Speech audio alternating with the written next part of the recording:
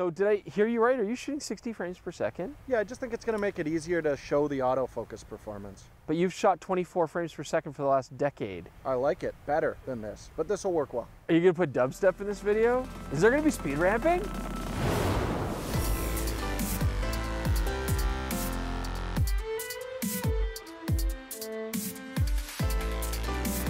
Welcome back, DPReview TV viewers. Chris Nichols here with another one of our little midweek short episodes. And this week we're going to be talking about eye autofocus. Now, Sony has really taken this technology and they've run with it. They've got a big head start, both in how well it works and how easy it is to use in their cameras. And for a while there, it looked like they were having a major advantage over any other manufacturer. However, in recent times, Canon has updated their eye autofocus. It works quite well in continuous. And now, of course, Nikon has updated their firmware for the Z6 and Z7. And that's what we are going to test today.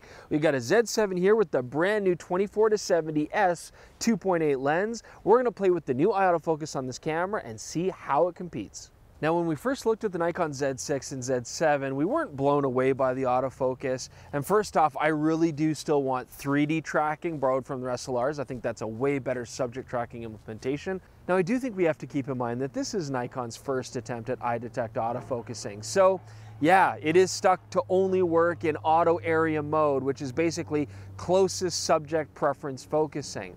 But the idea is this, if something is in front of your subject but they have a face and eyes, the camera should choose the face and eyes rather than focus on the closest subject. And this could actually help out in a lot of casual family situations. I think a lot of beginners should find this mode quite useful. And it does for the most part work quite effectively. However, like many manufacturers with early eye detect autofocusing systems, sometimes the software decides that that thing in the background is a face or this object up front is a face. Luckily, those confused situations were few and far between. And for Nikon's first outing, this is pretty impressive. There's two things that really stand out to me. So first off, the speed at which it picks up and acquires a face or the eyes is incredibly rapid. It might even be the fastest we've seen, which should just help your overall responsiveness. The second thing I was really impressed by is how well it picks up eyes, even if they're not looking at the camera. So if somebody's kind of courting their face away, away, it still picks them up very reliably, but also in profile, it will go to the eye area, whereas normally you'd probably get focus on the cheek or the ear or something like that. So it did that very well, and that's great when you're just trying to get those candid portraits. Now the tenacity of the focusing is pretty good. I do feel like it's still a little bit laggy. However, the Nikon does do a good job of keeping up and it does seamlessly transition between faces and eyes or then going to closest subject if it loses those first two.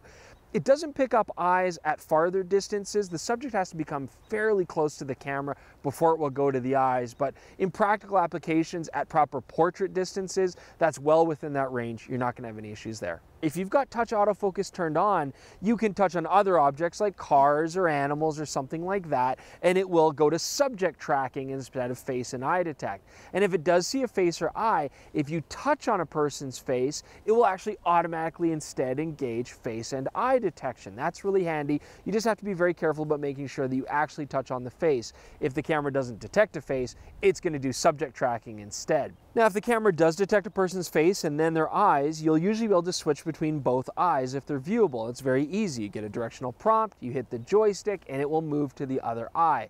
If there's multiple faces in the shot, you can also get a similar prompt and you can move between people's faces. So overall, it does work in a very easy, intuitive manner.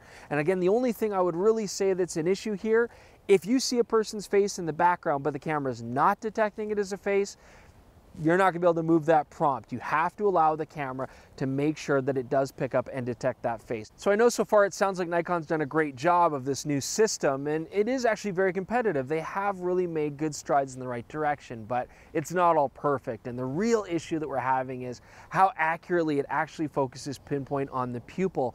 That's where you want the shot to be.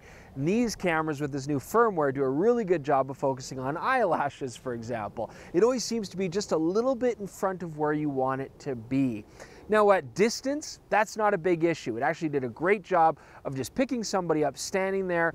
When your subjects get closer, when you want to do those really nice thin depth of field shots, soft backgrounds, and you're up close trying to get the eye, it can be frustrating. I was finding more often than not, it was always just a little bit in front. And here I'm using a 24 to 70 2.8 Uh, you know, if Nikon starts implementing some portrait lenses for this system, like 85s or 135s with fast apertures, they're really going to have to get this system down pat before that's going to actually deliver the results you want.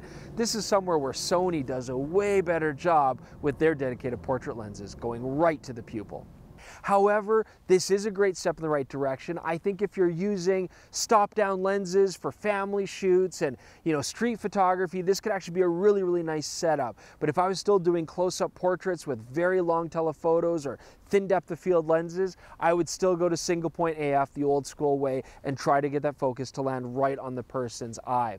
Now, if you want some extra detailed information about when and where this eye detect's really going to shine, check out Rishi Sanyal's article on dpreview.com. It covers everything in excellent detail. Last thing I want to mention, this new firmware actually vastly improves the Z6 and Z7's focusing capabilities in lower light situations. We always had a complaint with that early on, and this firmware has addressed a lot of those issues. So if you have a Z6 or Z7, download this firmware and do it already if you haven't, because it does make some really nice differences. As usual, thanks so much for joining us. Don't forget, Twitter, Instagram, subscribe. Please let us know your comments below and on dpreview.com. Thanks so much for joining us. So back to 24p next week.